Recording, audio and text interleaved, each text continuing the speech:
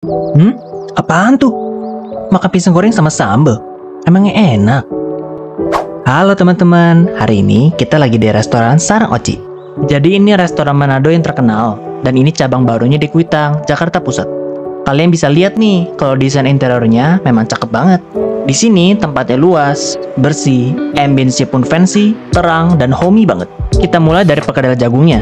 Ini sih bikin ketagihan. Dia enak, crunchy, jagungnya manis dan royal banget. Selanjutnya ada sop sapi berendam bon. Jadi di supnya, yang utama ada kacang merah dan potongan daging. Dagingnya khas dan empuk. Kalau ini filet tenggiri bakar rica. Ini juga rekomen banget, apalagi dia nggak ada tulangnya, jadi gampang dimakan.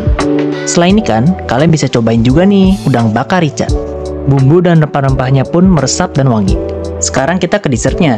Nah, kalian mesti cobain nih yang khas Manado. Ada kue balapis. Dan tentunya ada pisang goreng khas Manado yang bener-bener unik. Jadi, dia makannya itu ya dicocol ke sambal. Nah, ini es bernebon kacang merah.